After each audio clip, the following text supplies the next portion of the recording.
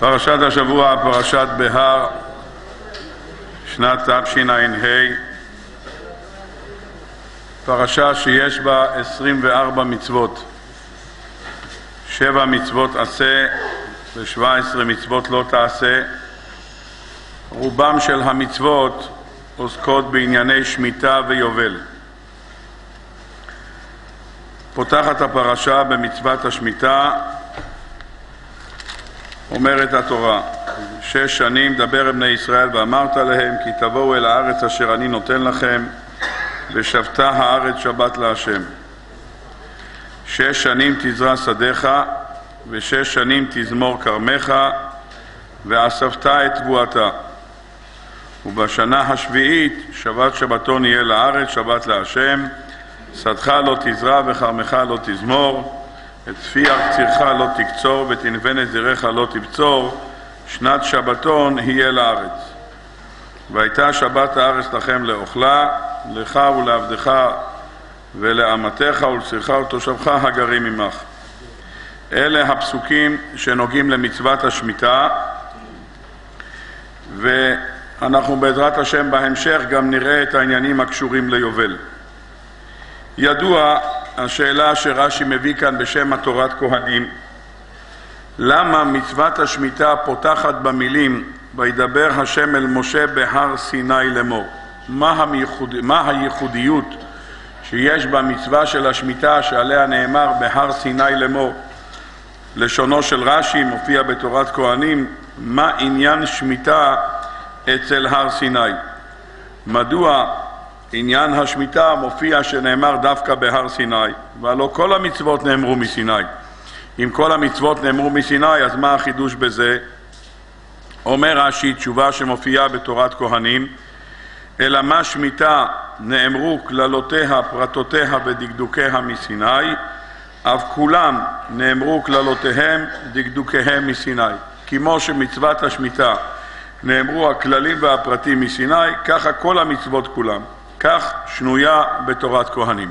זו התשובה שמופיעה בספר תורת כהנים. בא כאן האור החיים הקדוש ושואל שאלה נפלאה. שואל האור החיים, אני מבין שחז"ל רצו ללמד אותנו שכל המצוות נאמרו, הכללים והפרטים, הכל נאמר בסיני. אבל שואל האור החיים הקדוש, אבל למה בחרו דווקא את מצוות השמיטה? היה אפשר להגיד את זה במצווה של לוח הקן או במצווה של שבת, בכל אחד ואחד מהמצוות, מדוע נבחרה דווקא מצוות השמיטה שבה יאמרו כלליהם ופרטיהם? זו השאלה ששואל האור החיים הקדוש, שאלה נפלאה ביותר. הייתי רוצה, מה? כן, רש"י כותב, רש"י כותב את התשובה הזאת.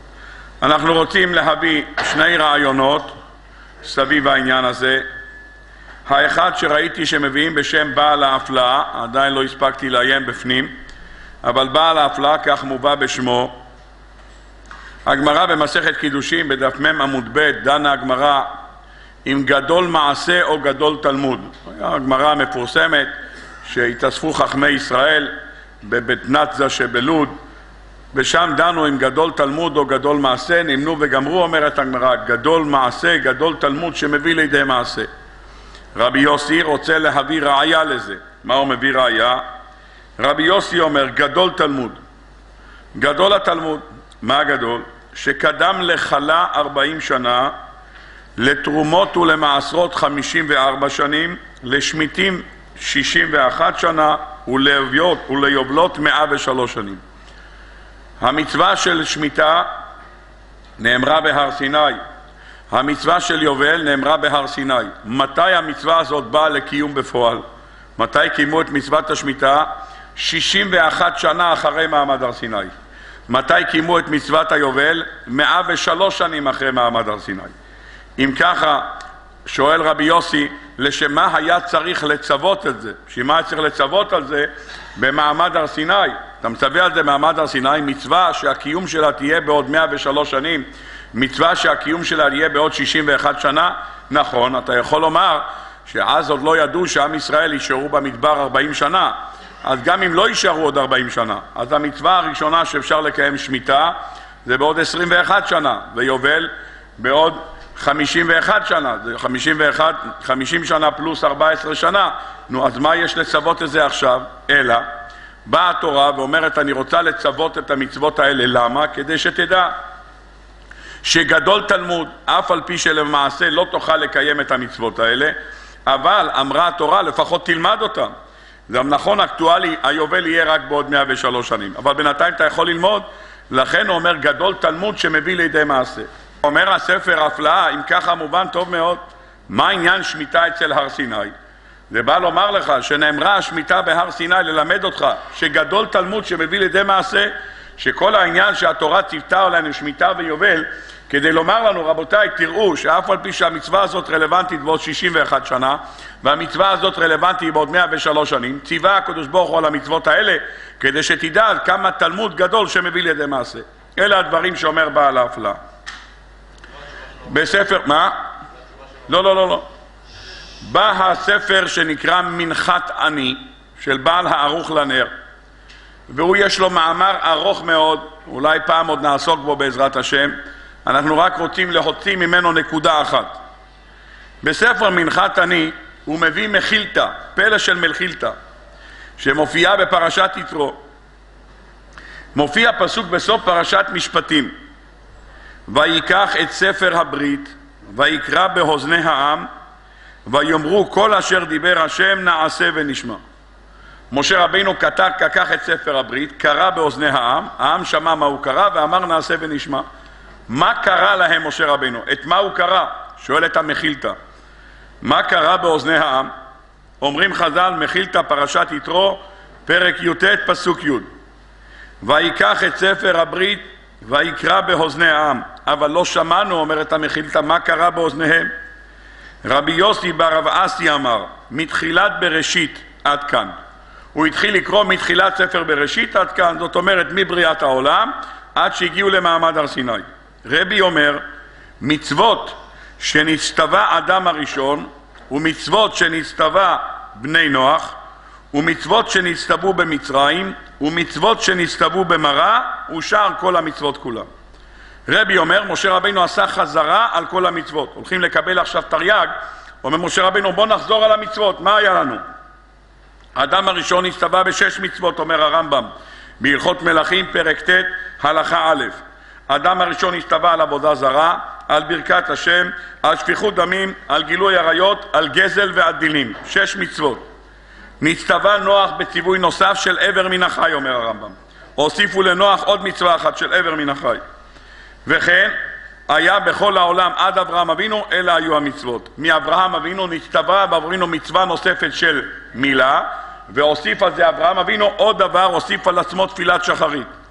יצחק אבינו מעשרות, והוסיף על עצמו תפילת מנחה. יעקב אבינו גיד הנשה, והוסיף על עצמו מצוות ערבית. ונצטווה עמרם במצוות יתרות. עמרם קיבל עוד כמה מצוות במצרים, איזה מצוות הוא קיבל הרמב"ם לא מונה, והמפרשים דנים איזה מצוות קיבל עמרם. עד שבא משה רבינו ונשלמה כל התורה על ידו. אומר הרמב"ם, משה רבינו השלים את התורה. אם ככה, אומר רבי במחילתא, משה רבינו עמד וקרא בפניהם את המצוות. מה היו המצוות? אמרנו, שש המצוות שנצטווה האדם הראשון, מצווה נוספת שהצטווה נוח, מצוות שנצטוו אברהם, יצחק ויעקב, עמרם והמצוות שנצטוו במראה. המצוות שנצטוו במראה בעצם היה הקדמה למעמד הר סיני. כי ברגע שהגיעו למראה נאמר בפסוק שם שם לו חוק ומשפט ושם נישאו אומר רש"י במקום, נתן להם שבת, נתן להם דינים וכיבוד אב ואם ופרה אדומה. אלה המייצגים של עדויות, משפטים וחוקים. זה בדיוק שלושת המייצגים של עם ישראל. עדויות זה שבת, אנחנו מעידים שהקדוש ברוך הוא ברא בשישה ימים את השמיים ואת הארץ וביום השביעי שבת וינפש. משפטים זה דברים הגיוניים, למנות דיינים וכיבוד אב ואם. וחוקים זה פרה אדומה. אז הוא נתן דוגמאות לכולם, אמר הנה זה הקדימון למעמד הר סיני, אלה המצוות שקיבלתם במורה, והשאר זה כל המצוות שתקבלו, ועל זה אמרו נעשה ונשמע. בא רבי ישמעאל, דבר חידוש. רבי ישמעאל אומר, אתה יודע מה ציווה אותם לפני מעמד הר סיני? שמיטה ויובל. לפני מעמד הר סיני ציווה להם משה רבינו, מה שכתוב בפסוק, ויקרא באוזני העם ויאמרו כל אשר דברי השם נעשה ונשמע. מה הוא אמר להם? מצוות שמיטה ויובל וברכות וקללות. אלה הדברים שאומר רבי ישמעאל. נו, מיד בא ערוך לנר בספרו מנחת עני ושואל מה פתאום שמיטה ויובל? מה פתאום מכל המצוות כולם, המצוות הנוספות שאמר להם לפני מעמד הר סיני זה שמיטה ויובל? ככה הוא שואל. על פי השאלה, הדברים שהוא מביא מהמחילתא, יש לנו כאן תירוץ פשוט מאוד. אם אתה שואל מה עניין שמיטה אצל הר סיני, כי המצווה היחידה, שמה שמביא לנו ערוך לנר בשם המחילתא, המצווה היחידה שנאמרה על פי משה רבינו שהוא קרא את ספר הברית, איזה מצווה זאת? שמיטה ויובל. אז לכן עניין שמיטה אצל הר סיני. אם אתה מחפש מה עניין שמיטה אצל הר סיני, זה עניין של שמיטה ויובל. אלה הדברים שלכאורה פשוט מאוד מובן כאן. אבל כל אחד שואל את עצמו, על מה ולמה ראה הקדוש ברוך הוא, ראה משה רבינו יותר נכון, לצוות את עם ישראל כהקדמה למעמד הר סיני, שמיטה ויובל, ועל זה אמרו עם ישראל, כל אשר דיבר השם נעשה ונשמע. זו השאלה שאנחנו רוצים לשאול, השאלה הראשונה. השאלה השנייה שאנחנו רוצים לשאול, אני לא בטוח אם בעזרת השם נספיק להקיף את זה גם היום, אם נספיק טוב, אם לא אז יזכנו הקדוש ברוך הוא, אז אולי בשנה הבאה נדבר על זה, אפשר להקיף את זה בעוד כמה וכמה כיוונים. אבל בכל אופן בואו נציג את השאלה. ידוע לכולם שהרמב"ן בתחילת כל חומש וחומש מסביר הרמב"ן מה יש בחומש הזה. תחילת ספר בראשית הוא מסביר, תחילת שמות ויקרא, כל דבר הרמב"ן פותח עם פתיחה לחומש. כשהרמב"ן בא לדבר על הפתיחה לחומש שמות, כותב הרמב"ן שחומש שמות הוא לא חומש בפני עצמו, הוא חלק מההמשך של חומש בראשית. למה? א' כל יש לך ו' החיבור, אין לך ו... מה זה ואלה? אומר רש"י בתחילת פרשת משפטים שכל מקום שכתוב ו', מה זה עושה? מוסיף על עניין ראשון. אם כתוב ואלה המשפטים אשר תשים לפניהם, ו' מוסיף על עניין ראשון. אם כתוב בתורה אלה המשפטים, פסל את הראשונים. אז מה כתוב ואלה שמות בני ישראל? אז מה זה בא לומר? שזה המשך של חומש בראשית. מה היה בחומש בראשית? ירידת עם ישראל למצרים. פרשת ויגש, מונה הכתורה את אותם שבעי נפשות שאיתם ירדו עם ישראל למצרים. אז ירידת מצרים מתחילה בפרשת ויגש. אתה לא יכול להפסיק ולומר שמות מתחיל חומש חדש, זה לא חומש חדש. איך התורה מתחילה? ואלה שמות בני ישראל הבאים מצרימה את יעקב אישו בטובהו. אז זה המשך למה שכתוב בחומש הקודם, לכן יש חווה בחיבור. אז זה לא חומש חדש. אם ככה אומר הרמב"ן, אז איפה מסתיים חומש בראשית? אומר הרמב"ן, לכאורה חומש בראשית היה אמור להסתיים בסוף פרשת משפטים. למה? כי ירדנו למצרים, לשעבוד מצרים, כדי להכין אותנו לקבלת התורה. הרי כל המטרה של ירידה למצרים, תעבדנו את אלוקים על ההר הזה, אז הוא אומר, ירדנו למצרים, יצאנו ממצרים, זה פרשת שמות וארא בו, אחרי זה פרשת בשלח, זה קריאת ים סוף, יתרו קבלת התורה, משפטים סיום מעמד הר סיני, הפרשה מסתיימת בסיום מעמד הר סיני, ובזה הסתיים החומש. אומר הרמב"ן יוצא שחמש פרשיות שאחרי זה, תרומה תצווה כי תישא ויקל פקודי, זה צריך להיות חומש בפני עצמו. המשכן צריך להיות חומש בפני עצמו. מה פתאום זה נכנס לתוך פרשת שמות? מה זה שייך לחומש שמות? שואל הרמב"ן. עונה הרמב"ן תשובה נפלאה.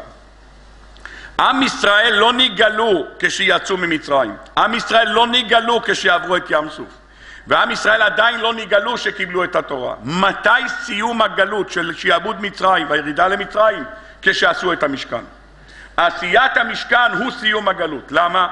שכל עוד, אומר הרמב"ן, שלא חזרנו למעלת האבות הקדושים, שהיה ענן קשור על האוהל, והיה ברכה בעיסה, והיה ברכה בנר המערבי, כמו שכתוב בחז"ל, שבביתה של שרה אימנו היה ענן קשור על האוהל, והיה ברכה בעיסה, והיה נר מערבי דלוק, וכששרה הסתלקה, כשרבקה נכנסה לתוך האוהל, וינחם יצחק אחרי אמו, אומרים חז"ל, חזר, חזרנו למעלת האבות הקדושים.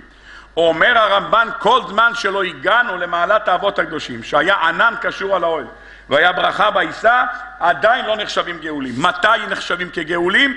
גאולים אנחנו נחשבים בשעה שעם ישראל הגיע אל הפסגה, והפסגה מהי? חזרנו למעלת האבות הקדושים. יוצא שהחומש השני הוא המשך של החומש הראשון, חד אמרת, ומופיע שם עניין המשכן כהמשך לעניין של גאולת עם ישראל. אומר הרמב"ן, בא חומש ויקרא, וחומש ויקרא עוסק בתכלית המשכן. מה תכלית המשכן? הרי אמרנו בליל הסדר, אמרנו שהקדוש ברוך הוא הביא אותנו לארץ ישראל, הוא בנה לנו את בית הבחירה, מה המטרה? לכפר על כל עוונותינו. המטרה להגיע לכפרת עוונות. כפרת עוונות, איפה אתה מגיע? בקורבנות אתה מגיע לכפרת עוונות. לכן בא החומש הזה, חומש ויקרא, ורובו ככולו עוסק במה? עוסק בעניין של קורבנות. ולכן אומר החומש, אומר הרמב"ן, החומש הזה נקרא בשם תורת כהנים, זה השם של החומש הזה. למה הוא נקרא תורת כהנים?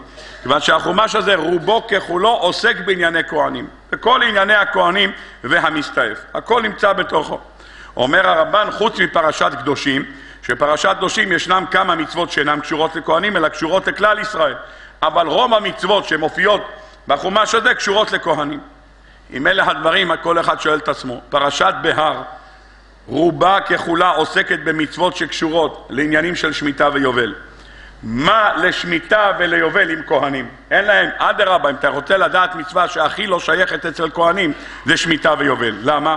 אין להם חלק בארץ הזאת, הם לא מקבלים נחלה, הם לא עובדים באדמה, אין להם חלק בארץ הזאת, הם לא מחכירים שדות, אולי עבדים כן יש להם, יכול להיות שכן, אבל מה, מה יש להם? כל שמיטת הקרקעות ועבודת הקרקע, כל המצוות האלה לא שייכות אליהם.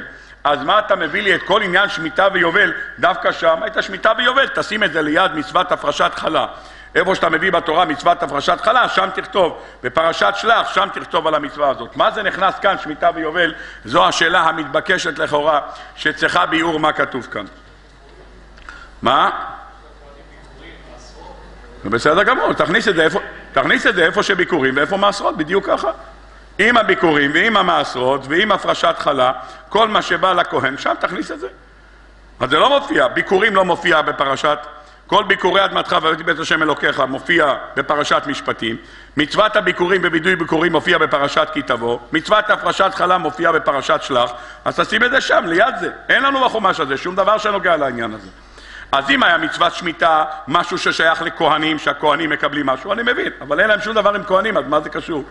זה לכאורה שאלה שצריכה ביור, יש לה ביור נפלא, אבל נראה אם נספיק לו בעזרת השם, לפחות תירוץ אחד כן נענה עד סוף השיעור.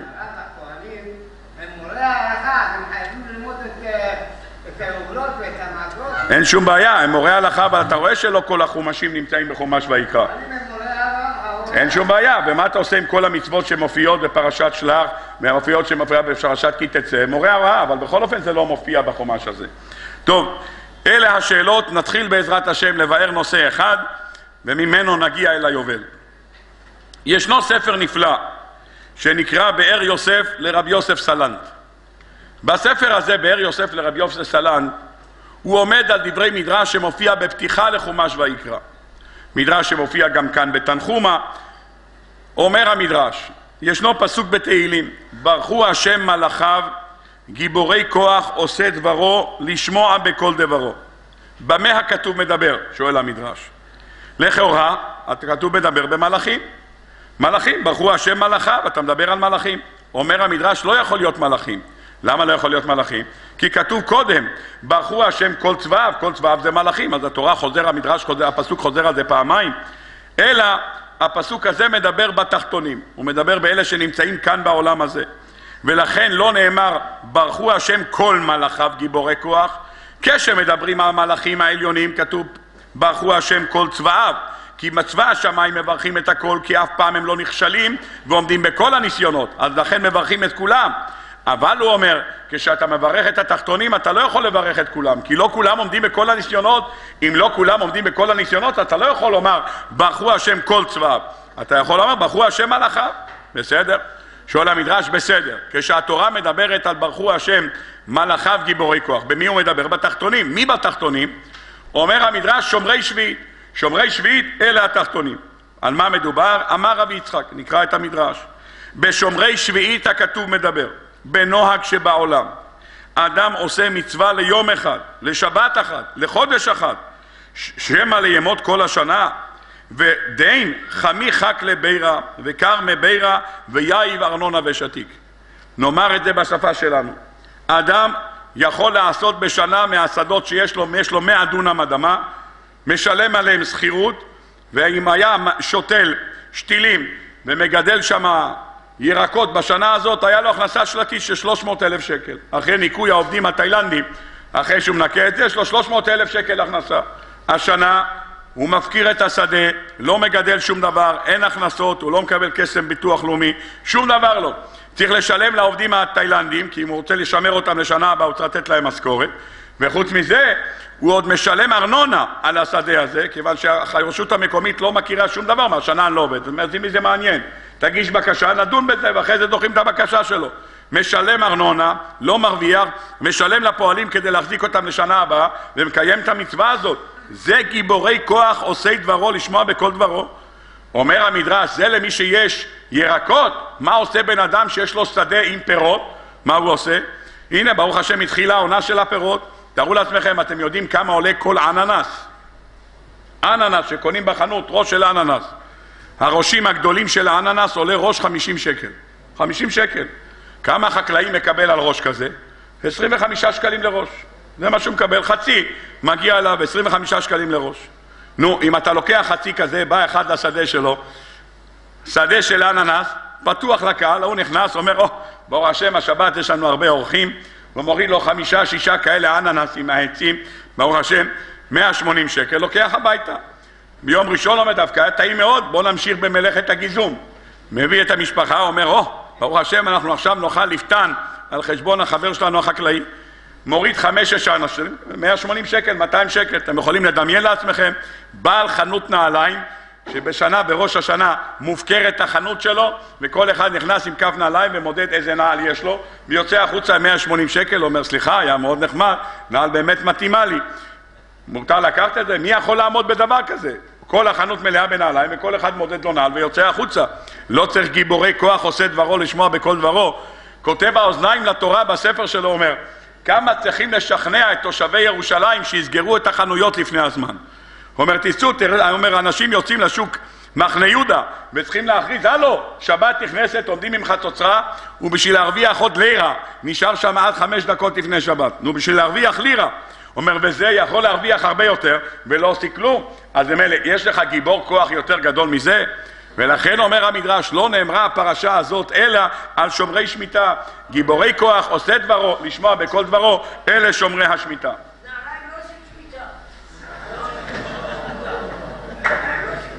זה נכון, נעליים לא עושים שמיטה, הבאנו, הבאנו רק דוגמה לבן אדם שיש לו חנות נעליים והיה צריך לעשות שם שמיטה. תדע, שיכול להיות שעוד מעט יהיה גם בנעליים שמיטה, זה רק שאלה של זמן. ברוך התורה דינו אלוהינו מלך אוילום שהכל יום מדברו. טוב, אם אלה הדברים רבותיי בסייעתא דשמיא אומר המדרש שצריך להיות גיבורי כוח עושי דברו כדי לקיים את מצוות השמיטה. אומר הספר באר יוסף, חז"ל אומרים בגמרא במסכת עבודה זרה בדף ג' שלעתיד לבוא יבואו אומות העולם לקדוש ברוך הוא ויגידו תן לנו מצווה אחת ונקיים אותה. מה הקדוש ברוך הוא נותן להם? מצוות סוכה.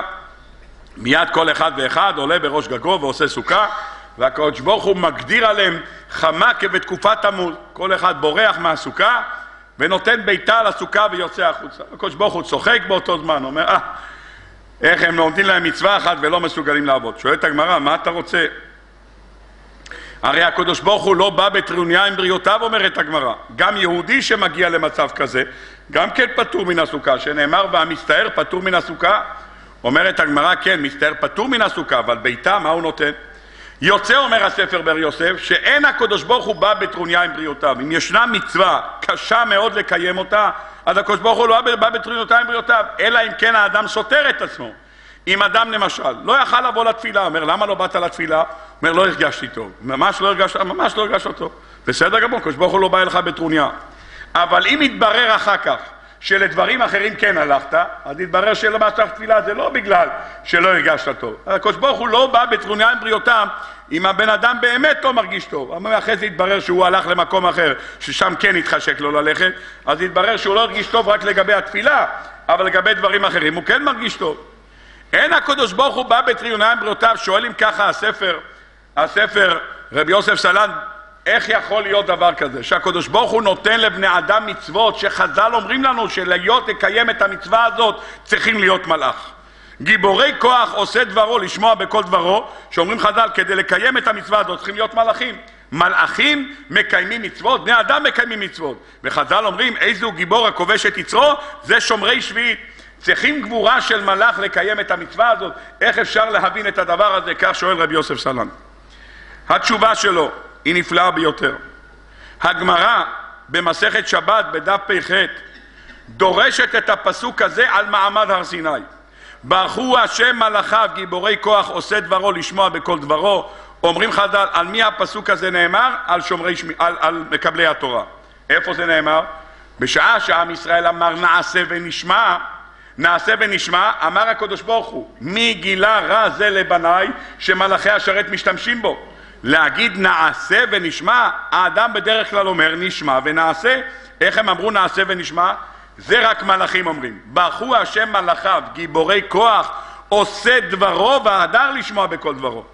יוצא שהאמירה הזאת של נעשה ונשמע, זה פירוש הדבר, ברכו השם מלאכיו גיבורי כוח עושה דברו. אם ככה אומר רבי יוסף סלן, עם ישראל אמר נעשה ונשמע במעמד הר סיני, ועם ישראל אמר את אותו פסוק של ברכו השם מלאכיו נאמר על שמיטה. פירוש הדבר, לקיים את המצווה של שמיטה צריכים כוח של מלאך. איפה קיבלנו את הכוח של מלאך כדי שנוכל לומר נעשה ונשמע? קיבלנו את זה במעמד הר סיני, שם אמרנו נעשה ונשמע. אם ככה, מה עניין שמיטה אצל הר סיני? כי כדי לקיים את מצוות השמיטה אתה צריך להיות מלאך, ותכונה של מלאך איפה קיבלת? בהר סיני. אם ככה, מה עניין שמיטה בהר סיני? כי חז"ל אומרים לך, לשמור שמיטה צריכים כוח של מלאכים. זה הכוח שצריך. לשמור שמיטה זה כוח של מלאך. אם לשמור שמיטה זה כוח של מלאך, ממילא תוכל להבין טוב מאוד שהתכונה הזאת קיבלנו אותה במעמד הר סיני, ואנחנו יכולים לעמוד בניסיון, הניסיון של שמירת השמיטה שצריך לו כוח של מלאכים. אומר רב יוסף סלנט, איך קיבלנו את הכוח הזה? את הכוח הזה קיבלנו באמצעות, באמצעות זה שפסקה זו המתן של עם ישראל במעמד הר סיני. שואל רבי יוסף סלנט, מי אמר לך שזה לא יתנדף? התנדב אולי, אולי אחרי שחטאנו בחטא העגל כבר איבדנו את המעלה הזאת, גמרנו, זה נאבד. הוא אומר, לא יכול להיות. למה לא יכול להיות? כי הגמרא אומרת במסכת נדרים בדף כ' כל מי שאין לו בושת פנים בידוע שלא עמדו אבותיו על הר סיני. מי שאין לו בושה, לא עבדו אבותיו. כותב הר"ן, שהרי טעם למעמד הר סיני, לבעבור תהיה יראתו על פניכם, לבלתי תחטאו. וכתיב את אשר ישנו פה היום, ואת אשר איננו פה היום. ומי שאין לו בושת פנים אינו מזרם. יוצא שהשפעת מעמד הר סיני אמור להשפיע עד היום הזה, כי מי שאין לו בושת פנים היום הוא לא מזרעו של עם ישראל. גם הכוח הזה של מעמד הר סיני, שעם ישראל אמר נעשה ונשמע זה כוח של מלאכים, נשאר אצלנו עד היום הזה. אם ככה בסייעתא דשמיא אנחנו מבינים טוב מאוד.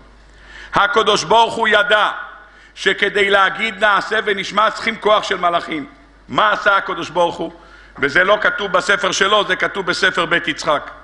כתוב בחז"ל שהקדוש ברוך הוא לקח את הר המוריה ושם את הר המוריה על הר סיני. כך כתוב בחז"ל במדרש שוחרתו בתהילים. לקח הקדוש ברוך הוא את הר המוריה כחלה הנתלשת מן העיסה ושם אותה על הר סיני. שואל הספר בית יצחק, בשביל מה צריך את זה? למה הקדוש ברוך הוא צריך לקחת את הר המוריה ולשים אותו פה? אומר הספר בית יצחק דבר נפלא ביותר. בגלל שהקדוש ברוך הוא לא רצה שעם ישראל ישאל מה כתיב בה. כי כל אומה באומות העולם שהקדוש ברוך הוא בא אליהם ושאל אותם רוצים לקבל את התורה, מה הם שאלו? מה כתיב בה? באותו רגע ששאלו מה כתיב בה הוא נתן לכל אחד את הדבר שהוא לא יוכל לקיים אותו. לא תרצח, אומר לא מתאים, לא תנאף, לא מתאים, לא תגנוב, לא מתאים.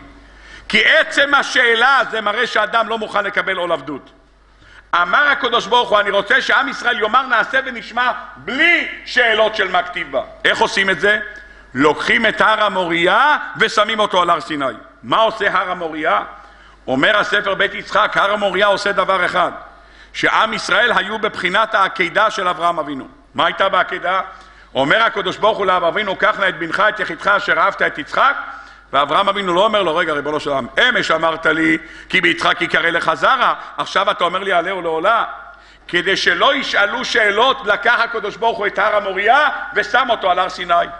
יוצא שעם ישראל כשהם אמרו נעשה ונשמע קיבלו גם את הכוח של אברהם אבינו בעקידה אם הם קיבלו גם את הכוח של אברום אבינו בעקדה, אז ודאי שיש להם את הכוח לעמוד בניסיון של שדה במשך שנה שלמה. כי את כוח המלאכים שקיבלו מהר סיני, ביחד עם הכוח של העקדה, שניהם יצרפו ביחד שעם ישראל יוכל לקיים את מצוות השמיטה בלי בעיות. אם ככה, בסייעתא דשמיא נוכל להבין דבר נפלא ביותר. מה עניין שמיטה אצל הר סיני? עניין שמיטה אצל הר סיני כדי לתת לעם ישראל את הכוח של מלאך. מלאך יכול לקיים את מצוות השמיטה. ברכו השם מלאכיו גיבורי כוח, מי זה שומרי השמיטה? אם ככה, יש לנו תוספת נפלאה לדברי המחילתא שמביא אמין חסוני, שמעניין שלא מביא אותה באר יוסף מסלן. אומרת המחילתא, משה רבינו לקח את ספר הברית וקרא באוזני העם ואמרו נעשה ונשמע, אמם קראו אז נעשה ונשמע? אמר רבי ישמעאל, אתה יודע על מה הם קראו נעשה ונשמע? הם קראו נעשה ונשמע על שמיטה ויובל. שמיטה ויובל, מה פתאום אמרו על זה נעשה ונשמע?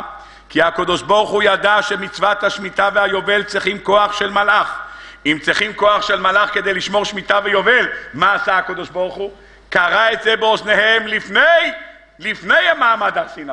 ועל זה הם אמרו נעשה ונשמע. מי אומר נעשה ונשמע? מלאך אומר נעשה ונשמע. אם מלאך אומר נעשה ונשמע, אז עם ישראל אמר על זה, על המצווה של שמיטה ויובל, על פי מה שאומר רבי ישמעאל. על המצווה של שמיטה ויובל הם אמרו נעשה ונשמע. אז הכוח הזה ניתן לעם ישראל לפני מעמד הר סיני.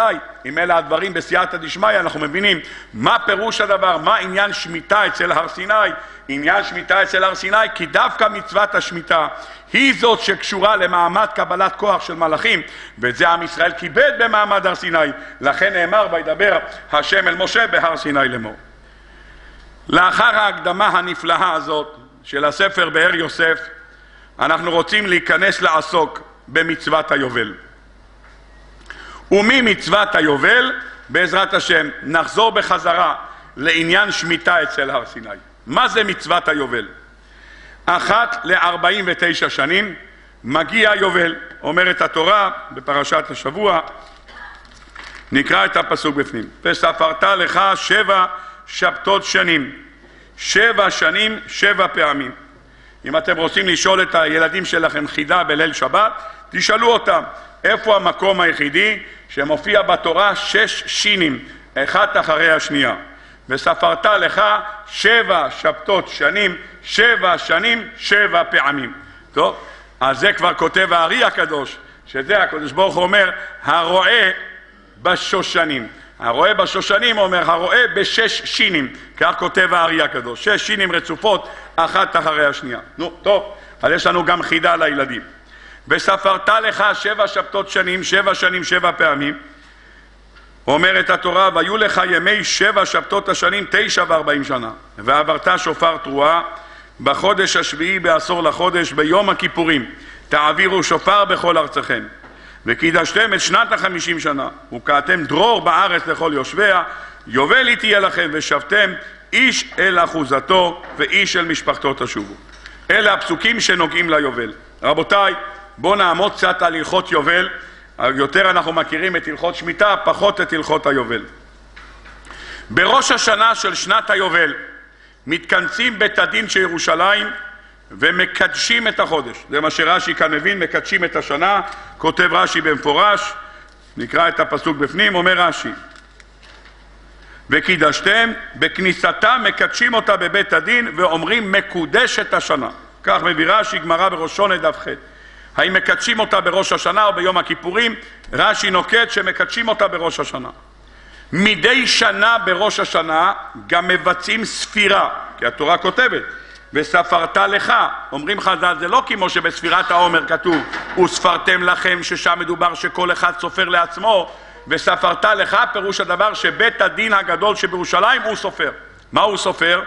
כמו שדיברנו בשבוע שעבר לגבי ספירת העומר, מצווה למימנה יומי ומצווה למימנה שבועי, יש מצווה למנות ימים ומצווה למנות שבועות, אותו דבר במצוות היובל. יש מצווה למימנה יומי ומצווה למימנה שבועי. שנה לאחר היובל אומרים היום שנה אחת ליובל, היום שנה שנייה ליובל, היום שנה שלישית ליובל, עד שהוא מגיע לספרה שבע, ואז הוא אומר היום שבע שנים ליובל שהם שמיטה אחת. בשנה השמינית, היום שמונה שנים ליובל שהם שמיטה אחת ושנה אחת. בדיוק כמו שסופרים לעומר. סופרים את זה בברכה, כך אומר תוספות במסכת כתובות, בדף ע"ב, אומר תוספות, כמו שספירת העומר בברכה, גם ספירת השנה בברכה, כך הוא כותב. מה יהיה הנוסח של הברכה? כותב הרייבד בפירושו לתורת כהנים, ברוך אתה השם אלוקינו מלך העולם, אשר קידישנו מצוותיו וציוונו על ספירת שני יובל. הוא סופר את ה... אמרנו מצווה למנות גם שבועות וגם שנים, והספירה נעשית בצורה הזאת. מה בסידור? בראב״ד, ראב״ד, בראב״ד בפירושו בתורת כהנים. ראב״ד זה אחד המפרשים על תורת כהנים. כן? מה חשבת, רחוב? טוב, בכל אופן, מה?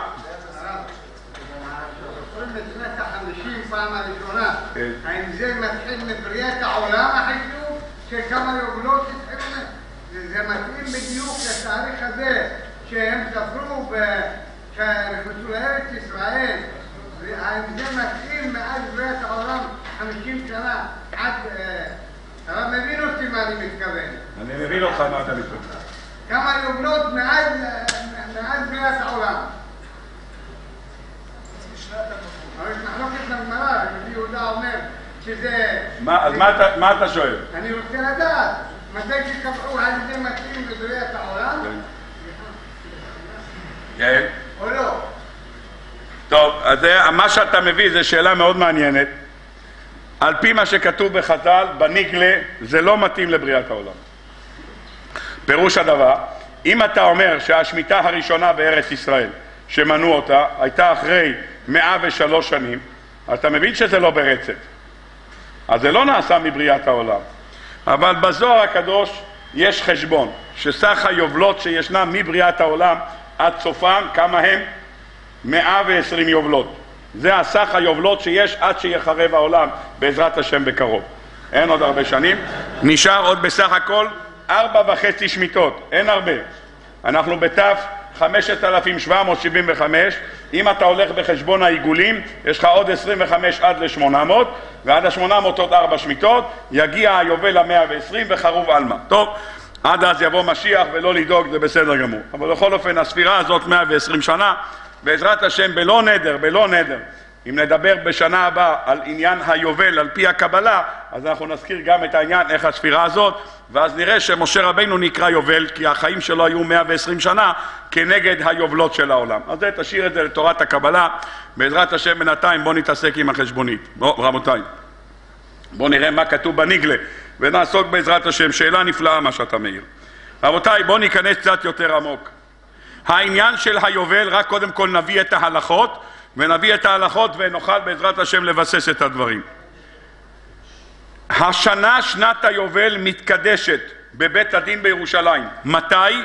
בראש השנה. אומר כאן רש"י במקום, החשבון שעושים, בית הדין בירושלים, מקדשים אותה, כך כותב כאן רש"י. בכניסתה מקדשים אותה. ואומרים שנה זו מקודשת. מה קורה בתחילת היובל? בינתיים שום דבר. ממשיכה שנת שמיטה שנייה.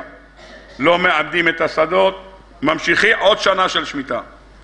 מתי הכניסה בפועל, מתי מתחיל היובל להיכנס בפועל? ביום הכיפורים. אומרת התורה, אומרת, נקרא את הפסוק בפנים, והעברת שופר תרועה בחודש השביעי בעשור לחודש, ביום הכיפורים תעבירו שופר בכל ארציכם. מתי התקיעת שופר? ביום הכיפורים. בתחילה בבית הדין. ועברת שופר בלשון יחיד, כל בית הדין בירושלים, כמו שהוא מכריז מקודשת בראש השנה, ביום הכיפורים בבוקר תוקעים בשופר ביום הכיפורים בשנת היובל. לאחר שהם תוקעים, בכל בית בארץ ישראל תוקעים ביובל שנאמר ביום הכיפורים תעבירו שופר בכל ארציכם, כל יהודי תוקע בשופר. מה הוא תוקע? תוקע תקיעה, תרועה, תקיעה, שלוש פעמים. כמו התקיעה של ראש השנה, ככה התקיעה של יובל. כך כתוב במשנה במסכת ראש השנה, בדף כ"ו עמוד ב', שווה היובל לראש השנה לתקיעה ולברכות. כמו שבראש השנה מעיקר הדין צריכים לתקוע תשע קולות, אז זה תקיעה, תרועה, תקיעה, כך תוקעים, שלוש פעמים. בתחילה בבית הדין בירושלים, ולאחר מכן בכל בית בעם ישראל. כותב הרמב"ם, הרי המשנה אומרת ששווה היובל לראש השנה לתקיעה ולברכות, כותב הרמב"ם בהלכות תפילה, לא בהלכות שמיטה ויובל, כותב הרמב"ם שביום הכיפורים של שנת היובל אומרים מלכויות, זיכרונות ושופרות. בדיוק כמו שאומרים בראש השנה, אומרים ביום הכיפורים של שנת היובל, ובא כבר הטורי אבן ומקשה איך אתה יכול לומר מלכויות ביום ה... יום הכיפורים, יום הכיפורים זה לא יום של מלכויות, איך אתה אומר היום הרת עולם, היום הוא לא בנה את העולם. בקיצור, לא ניכנס כרגע להסביר את הדברים, אבל זה מה שכתוב במשנה, ראש השנה כ"ו עמוד ב', וזה מה שכתוב ברמב"ם בהלכות תפילה, בפרק ב', הלכה ח'. אם אלה הדברים, בואו נלך רק עוד נקודה אחת. בא הספר בכור שור ואומר שהתקיעה בבית המקדש ביום הכיפורים נעשית על ידי כהנים בדווקא. מפסוק בפרשת בעלותך, ובני הארון הכהנים יתקעו. התקיעה הזאת שנעשית בבית הדין נעשית על ידי כהנים. חשבתי על פי זה, אם צודק הבכור שור שהתקיעה הזאת נעשית דווקא על ידי כהנים, יש כבר מקום להכניס את שמיטה ויובל לתורת כהנים, כי התקיעת שופר של יום הכיפורים, שמשחררת את העבדים ומשחררת את השדות, היא בתקיעת שופר של כהנים, לכן זה נכנס לתורת כהנים. אבל הרמב"ם לא מביא את זה להלכה, רק הבכור שור כותב שהכהנים צריכים לתקוע. רבותיי, אם אלה הדברים בסייעתא דשמיא, בואו נתחיל. הכלי יקר בתחילת הפרשה עושה השוואה בין יציאת מצרים, ספירה של שבע שבועות ואחרי זה מעמד הר סיני, לבין ספירה של שבע שמיטות ואחרי זה היובל. הוא לא לוקח את ספירת העומר שלנו, שאנחנו סופרים, או ספירת העומר שהייתה בזמן שבית המקדש קיים. הוא מתייחס לספירת העומר, זה לא הייתה ספירת העומר אז, זו הייתה ספירה שספרו ישראל מיציאת מצרים אל מעמד הר סיני. איפה ספרו? כתוב בר"ן במסכת פסחים, כותב הר"ן בשעה שעם ישראל יצא ממצרים, שאלו את משה רבינו ביום חמישי כשעם ישראל התחיל לצעוד, שאלו את משה רבינו מתי מגיעים? יוצאים, מתי מגיעים למעמד הר סיני? הרי יצאנו ממצרים כדי להגיע למעמד הר סיני, מתי מגיעים? אמר להם משה, אמר לי הקדוש ברוך הוא, בעוד חמישים יום שנאמר, תעבדון את האלוקים על ההר הזה. תעבדון בסוף נון. התחילו עם ישראל סופרים, אחד, שתיים, שלוש, ארבע, עד ארבעים ותשע.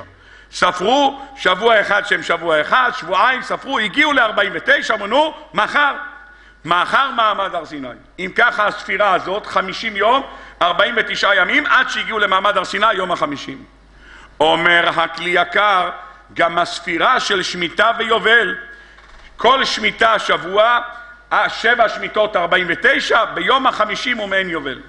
היובל כנגד הר סיני. רבותיי, אם ככה יוצא, אומר הכלי יקר שהיובל ומעמד הר סיני יש לו מכנה משותף. אם אתה מחפש מכנה משותף, כאן מצאת 49 במעמד הר סיני, כאן מצאת שבע שמיטות ויובל, נקודת השיתוף ביניהם, יש קשר בין מעמד הר סיני לבין יובל. מה הקשר? אז הכלי יקר אומר נותן לך את הקשר, עכשיו צריך לעשות השוואה, נקודת חיבור בין היובל לבין מעמד הר סיני. אז בואו ניקח שתי נקודות ונראה איפה נקודת החיבור שלהם. שימו לב, דבר נפלא ביותר. מעמד הר סיני נפתח בשופר, כמו שכתוב פסוק בפרשת יתרו, ויהי ביום השלישי, ביות הבוקר, ויהי קולות וברקים וענן כבד על ההר, וכל שופר הולך וחזק. השופר הזה, אומרים חז"ל בפרקי דרבי אליעזר, נלקח מהקרן של העיל של יצחק אבינו. תקע הקדוש ברוך הוא בשופר, זה תחילת מעמד הר סיני. איך מעמד הר סיני מסתיים? מעמד הר סיני מסתיים בתקיעת שופר, שנאמר, במשוך היובל המה יעלו בהר. פתיחה של מעמד הר סיני נעשה בשופר, וסיום מעמד הר סיני נעשה בשופר. שניהם בשופר. אם אנחנו לוקחים את ההגבלה ליובל, איך נפתח היובל? אומרת התורה, ועברת שופר תרועה, אתה פותח את העניין של היובל בשופר. איך אתה מסיים אותו? בתחילה פותחים בבית הדין שבירושלים, ואומר הבכור שור שמי שתוקע זה כהנים, ולאחר מכן, מה כתוב? תעבירו שופר בכל ארציכם. כל יהודי בבית שלו תוקע בשופר. זה סיום העניין של היובל. רבותיי, לא רק הסיום, אנחנו גם תוקעים בשופר בסיום יום הכיפורים שלנו היום, כשגומרים שבע פעמים השם הוא אלוקים, תוקעים בשופר. למה תוקעים בשופר? אומר הלבוש. כמו שמעמד הר סיני כשהשכינה הסתלקה, מה כתוב במשוך היובל המה יעלו בהר, כי זה סימן שהשכינה התרוממה מעל הר סיני. כשאתה רוצה לסמן את העניין של הקדוש ברוך הוא, שעוזב כביכול אותנו בשעה שנאמר דרשו השם בהימצאו קראו בהיותו קרוב, מתי הוא קרוב אומרים חז"ל, מסכת ראש השנה, בין ראש השנה ליום הכיפורים שהוא יורד, איך הסיום? הסיום נעשה על ידי שופר, השופר מרומם את הקדוש ברוך הוא למעלה. כך כותב הלבוש. תשובה נוספת כותב הלבוש, למה תוקעים בשופר? להרות חירות מן היצר הרע. תשובה נוספת הוא אומר, תוקעים בשופר בכל שנה ביום הכיפורים כדי לזכור את היובל. היובל תקעו בשופר, אומר הלבוש, גם זה לזכור, ביום הכיפורים תזכור את העניין של היובל. טוב, עד כאן דברי רבותינו. יוצא, יש לנו נקודת משוואה אחת. מעמד הר סיני נפתח בשופר וננעל בשופר, היובל נפתח בשופר בבית הדין, ואחרי זה שופר תעבירו שופר בכל ארציכם. כל יהודי תוקע בשופר ביום הכיפורים, וחוץ מזה, אנחנו היום מסיימים את יום הכיפורים בשופר. אם אנחנו רוצים נקודת חיבור נוספת, נביא עוד נקודת חיבור. אומרת התורה בפרשת כי תישא, והלוחות מעשה אלוקים המה, והמכתב מכתב אלוקים הוא חרוט על הלוחות. שואלים חז"ל, מה זה חרוט על הלוחות? חרוט בלוחות, לא חרוט על הלוחות. מה זה חרוט על הלוחות? אומרים חז"ל, כתוב באבות, בפרק ו', חרוט על הלוחות, לומר לך, אל תקרי חרוט אלא חירות. מה זה חירות? ברגע שעם ישראל אמר נעשה ונשמע וקיבל את התורה, קיבל חירות ממלאך המוות, קיבל חירות מן היצר הרע, קיבל חירות מן האיסורים, קיבל חירות מן המלכויות, עד שהגמרא אומרת במסכת עירובין, אלמלא נשתברו לוחות ראשונות, אין כל אומה ולשון יכולה לגעת בעם ישראל. יוצא שקבלת הלוחות יצר חירות בעם ישראל. במה חירות? חירות גופנית וחירות רוחנית. חירות גופנית מן האיסורים ומן אומות העולם, חירות רוחנית מן היצר הרע. יוצא שקבלת התורה על ידי השופר, על ידי העניין של קבלת התורה בשופר בכניסתו, בשופר ביציאתו, יצר בעם ישראל מצב של חירות. אם זה יצר מצב של חירות, בואו נעבור עכשיו ליובל. מה עושה היובל? היובל יוצר חירות של מי? שהעבדים חוזרים בחזרה אל מקומותיהם, זה חירות רוחנית, כי עד עכשיו שהוא נמצא תחת יד הבעלים, אז הבעלים אומרים לו מה לעשות ולא הקדוש ברוך הוא כביכול, ואחרי זה יש גם חירות גשמית שהאדמה חוזרת חזרה למקומה. אז יש כאן שני חלקים של חירויות, חירות אחת רוחנית וחירות אחת גשמית. כשם שבמעמד הר סיני חירות אומרים חז"ל, אל תקרי חרות אלא חירות והיה לך חירות בשני חלקים, גם רוחני מהיצר הרע וגם גשמי מן האיסורים, אותו דבר יש לך גם ביובל. אם אלה הדברים בסייעתא דשמיא, נוכל להבין דבר נפלא. אולי על זה שואלים חז"ל, אולי. למה נסמכה, מה עניין שמיטה אצל הר סיני? למה? כי חז"ל הייתה להם אולי שאלה, למה לא סומכים את העניין של שמיטה לעניין של הר סיני ליובל? וידבר השם אל משה בהר סיני, כאן צריך לבוא הציווי של היובל. כי אם אתה רוצה לדמות משהו להר סיני, השמיטה דומה להר סיני או היובל דומה להר סיני? מה דומה? היובל. השמיטה לא דומה, מה זה שש שנים אתה צריך לעבוד בשביעית, אתה לא עובד. אבל אמרנו שאם אומר הכלי יקר, שהספירה שלנו שש, שבעה שבועות הביאה לנו את מעמד הר סיני והספירה של שבע שמיטות מביאה לנו את היובל, יוצא שהספירה מביאה מה? הספירה הזאת מביאה את היסוד הגדול של הקבלה של התורה מקביל לעניין של היובל. אז אם ככה שואלים חז"ל, מה עניין שמיטה אצל הר סיני? שמיטה היה צריך להיות, אצל, מה עניין הר סיני היה צריך להיות אצל יובל? לא אצל השמיטה. כי אם אתה שם הקבלה בין שניהם, הוא דומה יותר ליובל מאשר לשמיטה. רבותיי, אם אלה הדברים, אנחנו רוצים להשיב עוד שאלה אחת. ישנה משנה במסכת ראש השנה. אומרת המשנה ארבעה ראשי שנים הם. מה הם? בראש השנה, באחד בתשרי, ראש השנה לשנים, לשמיטין וליובלות. פירוש הדבר שבאלף בתשרי מתחיל מה? יובל. יובל מתחיל באלף בתשרי, בואו נקרא את הפסוק בפנים. אומרת התורה, ועברת שופר תרועה בחודש השביעי, בעשור לחודש ביום הכיפורים, זה מה שכתוב כאן. אז מתי מתחיל היובל? באלף בתשרי או ביום הכיפורים? שאלת הגמרא במסכת ראש השנה, בדף ח'. רש"י כותב כאן, וקידשתם את שנת החמישים שנה, מתי מקדשים אותה? בראש השנה. אם מקדשים אותה בראש השנה, אז מה קורה במהלך עשרה ימים האלה? מה קורה בעשרה ימים האלה שבין ראש השנה ליום הכיפורים? זה השאלה המתבקשת, שאלת הגמרא מסכת ראש השנה בדף ח' עמוד ב'. שאלה נוספת שהיינו רוצים לשאול, בוודאי שכל אחד שואל את עצמו את השאלה הזאת. לא מצאת יום להתעסק בשחרור עבדים ושחרור קרקעות רק יום הכיפורים? כולם עטופים בטליתות, בלבן, הולכים כל היום הראש שלהם באשמנו בגדנו, מחפשים רק על חטא שחטאנו לפניך, עם הווידוי של רבנו בחיי ועם העבירות של שנת 1900 2015, כל שנה יש לנו עבירות חדשות שצריך לעשות עליהן תשובה, מתחדשים העבירות בכל שנה ושנה. יום הכיפורים, מתי, למה יש, מתי זמן לבן אדם להתעסק עם משהו, חוץ מהקדוש ברוך הוא, ולהשיג חנינה על העבירות שהוא עשה. זה היום שצריך לבוא לתקוע בשופר, אומר, הלו, מוישה, היית עבד, לך הביתה. ינק לאדמה שלך, קח אותה בחזרה. זה יום כיפור, זה הזמן של יום כיפור, בזה אתה מתעסק. נכון שידוע בשם כמה וכמה יהודים גדולים שניגשו ביום הכיפורים לאנשים ושאלו אותם, רבי יד, מה שלומך, איך אתה מרגיש, איך הביזנס, איך העסקים? הוא התפלא, אומר, מה? הרב הזה בא לשאול אותי ביום כיפור איך העסקים, הוא אומר, זה היום בשביל לשאול לך עסקים? מה פתאום אומר, תשמע, בשבילך אסור לך לדבר על זה, אבל בשבילי זה חסד. כשאני שואל אותך איך העסקים, ואני רואה שאני, אתה רואה שאני מתעניין בך, בשבילי זה חסד, זה העבודה שלי ביום כיפור. שיהיו אוהבים זה את זה, אדרבה, יום שאין בו לא קנאה ולא שנאה ולא תחרות, אדרבה, זה היום. נכון שזה היום, אבל אפשר לדחות את זה לאחרי החגים. אתה רוצה לשחרר אותם? תשחרר יום לפני ראש השנה. יום ראשון השנה, מחר משתחררים עבדים, תגיד בבקשה, כ"ט בחודש אלול, תתקע בשופר הכנות, תגיד למה תוקעים בשופר? משתחררים עבדים, תשחרר אותם. בראש השנה, זה עושה על הבוקר, הוא כבר אחרי אחרי צהריים כבר לנסוע לאומן. אין בעיה. למה צריך לעשות את זה ביום כיפור? הוא נשאר תקוע פה, לא יכול לנסוע לאומן. למה לא תשחרר אותו עד? אם כבר ביובל הוא משתחרר בראש שנה, תשחרר אותו עד להתחלה. לא, לא, אתה לא יכול לנסוע, אתה נשאר פה. מה זה? למה צריך לעשות ביום הכיפורים? זו השאלה. באה הגמרא, ראש השנה, דף ח' עמוד ב'. תניא, וקידשתם את שנת החמישים שנה.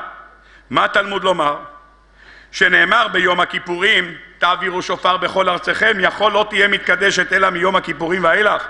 הייתי אומר שהשנה הזאת לא מתקדשת רק מיום הכיפורים, תלמוד לומר וקידשתם את שנת החמישים שנה, מלמד שמתקדשת והולכת מתחילתה. מתחילת השנה, קדושה השנה. אם היא קדושה מתחילתה, אז מה אתה מחכה עד יום הכיפורים? אמר רבי ישמעאל בנו של רבי יוחנן בן ברוקה, מראש השנה ועד יום הכיפורים לא היו העבדים נפטרים לבתיהם ולא משתעבדים לאדוניהם. אומר רש"י, לא נפטרים לבתיהם, שנאמר תעבירו שופר, ואחרי זה הוקראתם דרור. קודם כל צריכים לתקוע בשופר ואחרי זה משחררים. ולא משתעבדים, דכתיב וקידשתם את שנת החמישים שנה. אז הוא לא משועבד ולא הולך הביתה. יושב מראש השנה ועד יום הכיפורים, לא עושה כלום. אז מה הוא עושה? אומרת הגמרא, אוכלים ושותים ובשמחים ועטרותיהם בראשיהם. אה, יושבים העבדים האלה, יושב העבד, כבר נמצא כאן עשרים שנה אצל הבעל הבית הזה, אוכל ושותה ומבסוט. קושר לו עטרה לראשו, מה זה עטרה לראשו? כותב רש"י, אם רצה לשום עטרה בראשו ולהראות שיצא לחופשי, הוא יכול. יכול לשים לו שלט על הראש, אני משוחרר. יופי, יכול לשים לו שלט על הראש. בא מאירי ואומר, מה פתאום? יכולים לשים עטרה בראשיהם, כי עד עכשיו היה אסור לו לקשור עטרה בראשו. למה? כי הברכה שאנחנו מברכים בבוקר ואומרים עוטר ישראל בתפארה זה סימן שאנחנו משוחררים, זה סמל לשחרור. עבד לא יכול לקשור לו עטרה לראשו. עכשיו הוא יכול לקרוא לו עטרה לראשו, להגיד הנה אני משתחרר בעוד עשרה ימים. רבותיי, כל אחד שואל את עצמו. עשרה ימים אוכלים ושותים ושמחים ושמים להם שלט אני משוחרר. מה זה? בשביל מה צריך את זה? תשחרר אותו בראש השנה, תגיד לו לך הביתה, שלום על ישראל. מה צריך לשבת עשרה ימים אצלך בביתה, לשתות, לאכול ולשמוח. בשביל מה רוצה שישמח אצלו בבית עם המשפחה שלו? מה כבודו שואל? יכול להיות שכן, ואם כן, אז מה? יכול להיות שכן. טוב, רבותיי, אלה השאלות, ואנחנו בעזרת השם רוצים להסביר את הדברים. ראיתי הערה נפלאה ביותר. רבותיי, דבר יפה. בספר שיבולי הלקט הוא מביא שאלה ששאל אותו אחיו הרב רב בנימין. מה פתאום אומרים בראש השנה זכר ליציאת מצרים? בקידוש. ותיתן לנו השם אלוקינו את יום הזיכרון הזה, זכר ליציאת מצרים. אומר, איזה זכר ליציאת מצרים יש ביום הזיכרון? מה יש לך יציאת מצרים פה? היה משהו בראש השנה, יציאת מצרים? כך שאל אותו אחיו הרב בנימין. מה התשובה שהוא אמר לו? בטח שיש. הגמרא בראש השונה, דף י"א, אומרת הגמרא. מה אומרת הגמרא? שבראש השנה פסקה עבודה מאבותינו במצרים. דבר נוסף אומרים חז"ל, בראש השנה יצא יוסף מבית האסורים. אם יוסף יצא מבית האסורים, אז אפשר שפיר לומר, זכר ליציאת מצרים. שאל אותו אחיו הרב רב בנימין, גם ביום הכיפורים אמנם אין קידוש, אבל בתפילה אנחנו אומרים גם כן זכר ליציאת מצרים. מה קשור יום הכיפורים זכר ליציאת מצרים? מה היה? לא כתוב בגמרא, לא יצא יוסף מבית האסורים וגם לא יצא עם ישראל פסקה עבודה, מה קרה ביום הכיפורים? מה אתה אומר זכר ליציאת מצרים? אומר הספר שיבולי הלקט, אמרתי לאחי, העבדים משתחררים מהעבדות שלהם ביום הכיפורים. ואז מה? כתוב בפרשת ראה שיש מצוות הענקה בשעה שעבד יוצא לחירות, נותנים לו הנקה, הענק תעניק לו, למה? אומרת התורה, תזכור שהיית עבד במצרים, ואחרי שהיית עבד במצרים, הקדוש ברוך הוא פינק אותך בתשעים חמורים לובים, טעונים בביזת מצרים. אם שם נתתי לך הענקה, אז גם עכשיו תיתן לעבד שלך הענקה. יוצא שהשחרור של העבדים ביום הכיפורים, אתה יכול להגיד שפיר זכר ליציאת מצרים בגלל שחרור העבדים. כך כותב השיבולי הלקט שהוא אמר לאחיו הרב רבי יומי. רבותיי, אנחנו רוצים להסביר מה יש בעניין הזה של יום הכיפורים, מה מונח ביום הכיפורים ומהו הסוד של יום הכיפורים. הדברים כתובים גם בכלי יקר וכתובים גם ברבו המהר"ל. אנחנו נביא את שני המקורות האלה, אבל דבר ראשון, רק נציב עוד שאלה אחת. אומרת התורה, לאחר שתוקעים בשופר, אומרת התורה, וקידשתם את שנת החמישים שנה וקראתם דרור בארץ לכל יושביה. שואלים המפרשים, מה זה דרור בארץ לכל יושביה? היה צריך לומר, דרור בארץ לכל עבדיה, לא לכל יושביה. מה זה, כולם נהיו פה משוחררים? אף אחד פה לא עבדים. לכל דייריה, לכל עבדיה, אתה יכול לומר דרור. מה זה דרור בארץ לכל יושביה? אף על פי שזה לא שאלה, כי הגמרא במסכת ערכין בדף ל"ב אומרת דרור בארץ לכל יושביה מתי היובל נוהג? כאשר כל יושביה עליה אומרת הגמרא אבל באותו רגע שבני גד ובני ראובן וחצי שבט המנשה עברו בעבר הירדן לא היה נוהג יובל כך אומרת הגמורה במסכת ערכין אז אם ככה זה לא כל כך שאלה למה זה יכול יושביה, כי הגמרא לומדת מזה משהו. אבל אנחנו רוצים להבין למה לא כתוב לכל עבדיה, שרק העבדים משתחררים. טוב, כדי להבין את יסודם של דברים, בואו נראה בסייעתא דשמיא את היסוד הנפלא של המהר"ל לבאר את הדברים. דבר ראשון, לפני שנתחיל לבאר את הדברים, כל אחד שואל את עצמו, למה נקראת השנה הזו בשם שנת היובל? למה קוראים לשנה הזאת יובל? מה זה השם הזה יובל? אז רש"י כותב, יובל על שם השופר, כך כותב רש"י. למה נקרא שמה יובל? שנה זו מובדלת משאר השנים בנקיבת שם לה לבדה ומה שמה יובל, על שם תקיעת השופר. במשוך היובל המה יעלו בה. שואל הרמב"ן, מה? בגלל שתוקעים בשופר ביובל, לכן נקראת השנה הזאת יובל? אומר, מה פתאום? אם זאת הייתה הסיבה, זה היה כתוב על תחילה בפסוק הראשון. ועברת שופר תרועה בחודש השביעי בעשור לחודש, ביום הכיפורים תעבירו שופר בכל ארציכם, יובל היא תהיה לכם. אם אתה אומר שכל היובל נקרא על שם השופר, אז בפסוק שמדבר על השופר היה צריך להיות כתוב יובל. זה לא כתוב שמה. איפה זה כתוב? כתוב וקראתם את שנת היובל, קידשתם את שנת היובל וקראתם דרור בארץ לכל יושביה, יובל היא. משמע שבגלל הדרור היא נקראת יובל. מה שייך הדרור ליובל? כותב הרמב"ן במקום, ואמר יובל היא שבה יובל כל איש אל אחוזתו ואל משפחתו, יובילוהו רגליו מרחוק לגור. הוא מובל הביתה, הוא חוזר בחזרה הביתה, הוא מביא כאן רשימה של פסוקים. יובל ישלח שורשיו, פלגים יובלי מים, שולחים את הבן אדם הביתה, הוא מובל לביתו. היות והוא מובל חזרה הביתה, לכן הוא נקרא בשם יובל. כך כותב הרמב"ם. בספר הכתב והקבלה הוא כותב שהעניין של יובל הוא מלשון בלול. מלשון מעורבב. למה מעורבב? הוא אומר כי ביובל מתבטלים המעמדות, יש ביטולי מעמדות. למה ביטולי מעמדות? הוא אומר פשוט מאוד, הוא אומר בשנת היובל, לפני היובל, יש בעל הבית על השדה ויש אחד שהוא לא בעל הבית הזה, יש עבד ויש אדון. מגיע שנת היובל, אין הבדלי מעמדות, כי כולם משחררים את העבדים שלהם. אז כולם מעורבים יחד מלשון בלילה, זה מה שהוא אומר, ולכן הוא אומר אין הבדלי מעמדות, לכן זה נקרא בשם יובל. אומר הספר הכתב והבלה, לכן כתוב כאן בפסוק, כתוב ועברתם, ועברת שופר תרועה, תרועה זה מלשון חבר, כמו שכתוב, הוא תרועת מלך בו, אומר שם רש"י, בפרשת בלק שהקדוש ברוך הוא אוהב את עם ישראל מלשון רע, רעים האהובים. הקדוש ברוך הוא אוהב את כנסת ישראל מלשון חברים. אז אומר הוא תרועת מלך ברגע שמשחררים עבדים אז כולם ביחד שמחים כי אין הבדלי מעמדות לכן זה נקרא תרועת מלך בו לכן עושים את זה בתרועה כי כולם מחוברים ביחד. אם אלה הדברים אומר הספר אוזניים לתורה וראיתי בספר שי לתורה שמביא את זה בשם הפני יהושע. אומר לכן לא כתוב דרור לכל עבדיה אלא לכל יושביה. למה? הוא אומר שיש גם בשעה שהאדון משחרר, אז גם האדון יהיה משוחרר. למה? כי הגמרא במסכת קידושין אומרת שכל מי שקונה עבד עברי, קונה אדון לעצמו. אז באותו רגע שהוא משחרר את העבד, גם הוא נהיה בדרור. אז אומר, וקראתם דרור בארץ לכל יושביה, לא רק לעבדים, אלא גם לאדונים. ככה מביאים רבותינו את הפירוש של המילה יובל. אם ככה בסייעתא דשמיא, רבותיי, נוכל לסגור את הקצוות. העניין של שחרור היובל דווקא ביום הכיפורים היא בגלל סיבה אחת פשוטה. למהר"ל בספרו גבורת השם בפרק מ"ו הוא דן לגבי המועדים. אני לא הולך עכשיו לקרוא את המאמר שלו, מאמר יפהפה במאמר מ"ו, הוא שואל למה המועדים כולם כבולים לתבואה. חג הפסח צריך להיות דווקא בחודש האביב. חג השבועות זה זמן הקציר. חג הסוכות זה זמן האסיף. כל שלושת הרגלים שלנו כולם, קבורים, כולם כבולים אל התבואה. וזה המאמר שלוקח כאן המהר"ל בגבורות השם להסביר את זה. הוא מגיע להסביר את ראש השנה ויום הכיפורים שנמצאים בחודש השביעי.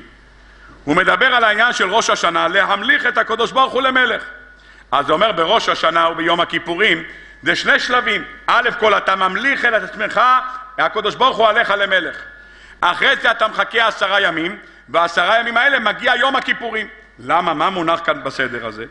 כותב כאן המהר"ל, נאמר ממש בקצרה, אומר המהר"ל, במערכת המלוכה ישנם שני דברים, א' שהוא מושל, וב' שהוא מוחל וסולח, זה המערכת שלו. אם ככה אומר המהר"ל, כל השנה שבן אדם חוטא, הוא נכנס תחת השלטון של היצר הרע. איך קוראים חז"ל ליצר הרע?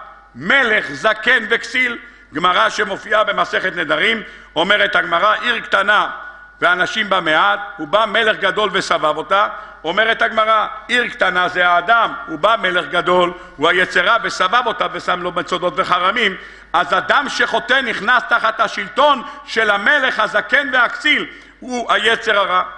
אומר המהר"ל, מגיע ראש השנה, האדם מקבל על עצמו מחדש את מלכותו של הקדוש ברוך הוא. אם הוא מקבל על עצמו את מלכותו של הקדוש ברוך הוא, רוצים לראות בעשרה ימים האלה אם יצאת משלטונו של היצר הרע, או שאתה עדיין נמצא תחת שלטונו של המלך הזקן והכסיל. איפה עושים את זה? עשרה ימים שבין ראש השנה ליום הכיפורים זה הזמן שאדם משתחרר מכבליו של המלך הזקן וכסיל ודבק בקדוש ברוך הוא שהמלכת אותו בראש השנה. אם ככה אומר כאן המהר"ל דבר נפלא על כן ציווה הקדוש ברוך הוא ביובל ועברת שופר תרועה בכל ארציכם ביום הכיפורים להיות חופשי לעבדים למה? מפני כי שם מלך השם צבקות יש עליהם ואין ראוי למשול עליהם. אחר אותו שנמכר לו וכן החוטא נמכר ביד היצר רע על ידי חטאיו עד שהוא ברשותו אחר שיצא ביום הכיפורים. כותב כאן המהר"ל דבר נפלא. ביום הכיפורים אתם קוראים דרור בארץ לכל יושביה ממה? ביום הכיפורים קוראים גם דרור מהעניין של היצר הרע אתה משתחרר ממנו.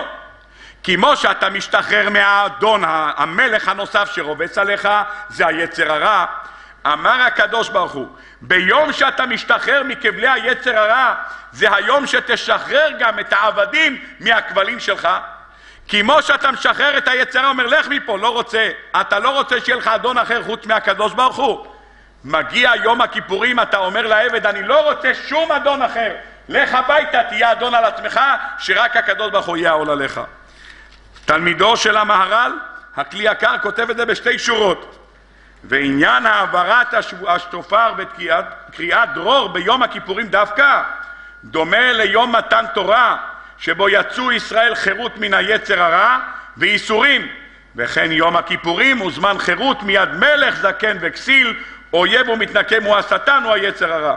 אם ככה אומר לנו הכלי יקר אותו יסוד.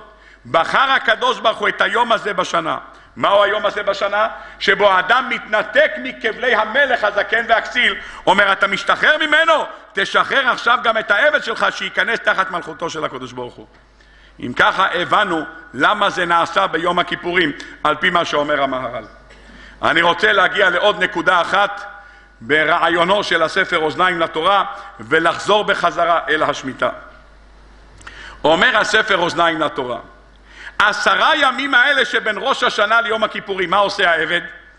יושב בבית, אומר המדרה, אומרת הגמרא, אוכל ושותה ושמח, ואם הוא רוצה הוא גם שם לו עטרה על הראש. בשביל מה צריך את העשרה ימים האלה? כותב הספר אוזניים לתורה, איזה רעיון נפלא. אין לך מושג כמה קשה להיפטר מעבד. אתה קשור לבן אדם שהיה אצלך שבע שנים מינימום. ואם הוא אחד שאמר אהבתי את אדוני ואת אשתי ואת בניי, יכול להיות שהוא כבר אצלך שלושים שנה, ארבעים שנה, כי הוא ככה רוצה את האוזן שלו, הוא נמצא שם עד שנת היובל. אדם, התרגלת אליו ארבעים שנה. משה, תביא את הדואר. משה, תעשה סלט קצוץ. משה, תביא לחמניות. משה, תביא אקונומיקה. משה, הוא עובד לך כבר שלושים שנה, אתה שולח אותו הלוך חזור. הוא העבד אצלך בבית. פתאום עכשיו העבד צריך ללכת הביתה. אתה יודע איך נראה בית שהתרגל 30 שנה לעבד? הבית הולך להפוך להיות אנדרלמוסיה אחת גדולה. כל אחד יודע אם יש לו בבית איזה עוזרת, והעוזרת עוזבת בדיוק לפני פסח, אתה נכנס באמת לעבדות מצרים. אתה יודע מה זה? בקיצור, אדם מתרגל לעבד 30 שנה, 40 שנה. תשמע, מגיע ראש השנה, התקדש, אומר זהו. אתה לא יכול להגיד לו, משה, לך תביא את הראש רוצים להגיד שנהיה לראש ולא לזנב. הוא יושב איתך בשולחן ואומר בבקשה, ינקלה אומר לבן של הבעל הבית, לך תביא את הדגים, לך תביא לי בבקשה קולה עם קרח בבקשה. הוא מתחיל לתת הוראות עכשיו. מה זה, בשביל מה? יושב עשרה ימים, אוכל ושותה ושמח ונותן הוראות. הוא גם אם רוצה קושר לו עטרה לראשו להראות שהוא משוחרר. אומר אדוני, אם אולי שכחת, אני כבר הפסקתי להיות עבד. הוא שם לו שלט על הראש הוא אומר, הנה אני משוחרר, כולם שלא ייתנו לו הוראות, אסור לתת לו הוראות. מה זה, בשביל מה זה נעשה? חלק מהמפרשים אומרים כדי לרומם אותו ממצב של עבד למצב של אדון. האדם שהתרגל עשרים שנה, שעושה רק מה שאומרים לו, כל הזמן נותנים לו הוראות. איך הוא יחזור הביתה עכשיו? יחזור הביתה, מה יעשה? פתאום הוא צריך לתת הוראות, הוא כבר עשרים שנה לא נתן הוראות, הוא רק קיבל הוראות. נו, אז מה יעשה? צריכים לתת לו עשרה ימים להתחיל להתרגל, להתחיל לתת הוראות. אתה חוזר הביתה, אל תהיה שפן. אתה צריך להתחיל עכשיו להתחיל לתת הוראות. נותנים לו עשרה ימים, אוכלים ושותים, ולאט לאט תגיד, משה תביא לי לחמניה, משה תביא לי שתייה, משה תביא לי גזר, משה תקרא מלפפון, אתה נותן הוראות בינתיים. אבל יש כאן מימד נוסף שקשור אל הבעל הבית בעצמו. מה קשור אל הבעל הבית בעצמו? הבן אדם הזה התרגל 40 שנה שיש לו עבד. העבד הולך הביתה. נו, הבן אדם יש לו קושי עצום לשחרר אותו. איך עושים? יושב הבן אדם עשרה ימים בבית, לא עושה כלום.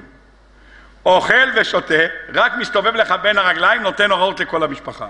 תביא לי סודה, תביא לי מים, תביא לי זה, תביא לי קרח, תביא לי לפונטר, תביא לי עיתון, תריץ את זה, הוא מריץ אותך, הוא הבעל הבית, מריץ את כל המשפחה, ולא עושה כלום, אסור לתת לו הוראות. אומר הבעל הבית, יאללה, שילך כבר הביתה. שילך כבר הביתה, סתם מסתובב פה כמו פרפרה, לא עושה כלום, שילך כבר. כדי להקל על הקושי של הבעל הבית שלא יקשה בעיניו בשלחכי אותו, נתנה התורה עשרה ימים שהוא לא עושה כלום, בעשרה ימים האלה אומר, אוכל ואינו עושה, שילך הביתה. אלה הדברים שאומר הספר אוזניים לתורה. הוא אומר, אם ככה, ענית לי לגבי עבדים, אבל מה לגבי השדות? אומר האוזניים לתורה, אותו דבר. אחרי כל שמיטה קשה לבן אדם, שנה שלמה יש שמיטה, קשה לו. שנה שמיטה, אבל הוא כל הזמן אומר, אחרי כל שבת יש מוצאי שבת, בעזרת השם. אוטוטו זה הולך להיגמר. הנה, אנחנו כבר איפה נמצאים? חודש אייר. עוד כמה חודשים יש לנו? סיוון, תמוז, אב אלול, כמה? אוטוטוט, ארבע וחצי חודשים. מה, עולים עם הטרקטור על השדה? אז הוא כל הזמן אומר אוטוטוט זה נגמר. מגיע השמיטה זה לא נגמר, כי עוד מעט מגיע יובל. יובל זה עוד שנה שלא עושים כלום. אומר הבן אדם, דימונה דכוללמה, שנה שמיטה זה שלי, אני משלם ארנונה, משלם לתאילנדים ומשאיר אותם פה, למה? כי שנה הבאה יהיה עבודה, אבל שנה הבאה אין עבודה. אז מה אומר?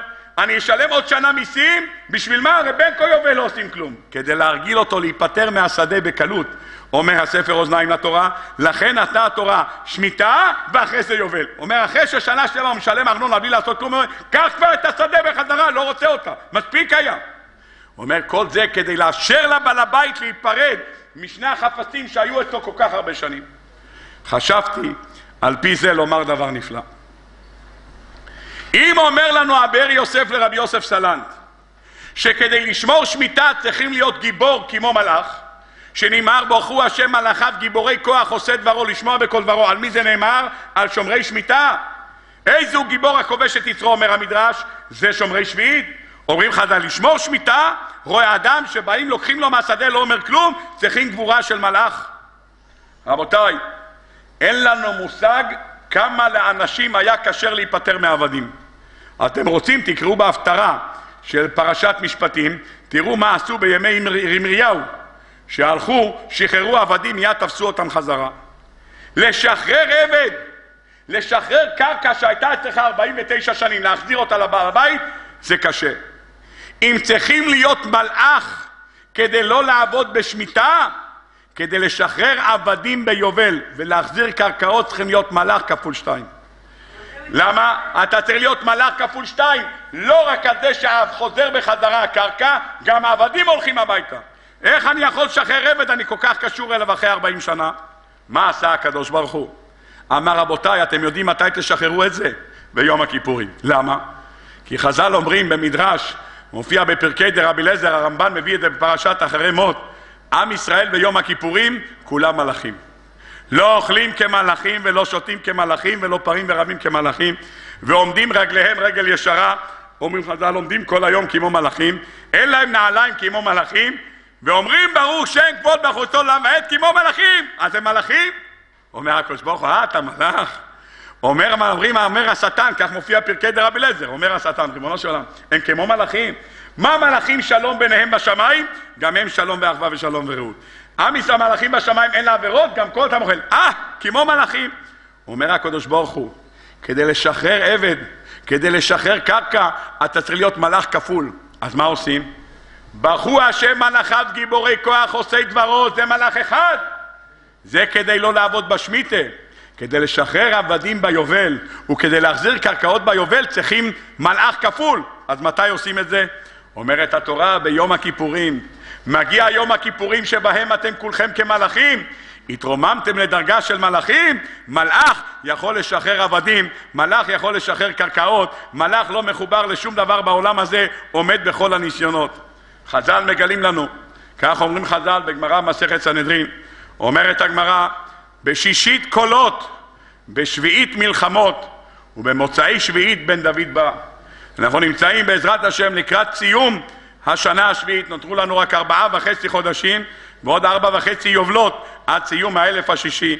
יזכנו הקדוש ברוך הוא שיקוים בנו דברי הגמרא הזאת שבעזרת השם שישית קולות כבר מצאנו בשביעית מלחמות, ברוך השם רואים, מלחמות על כל צעד ושעל.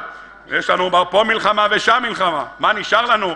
מוצאי שביעית בן דוד בא, מרצון שבעזרת השם נזכה בקרוב לביאת גואל צדק במהרה בימינו אמן ואמן.